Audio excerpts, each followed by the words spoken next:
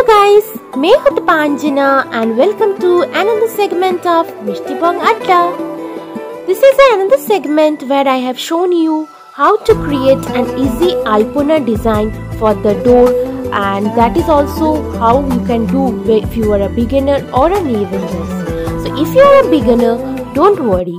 First of all, you can start by sketching the design with the help of the chalk and then with the help of a brush you can just go on filling the design. So let's see how I made this easy Alpona design for the door in this segment of only Mishti Bong Adda.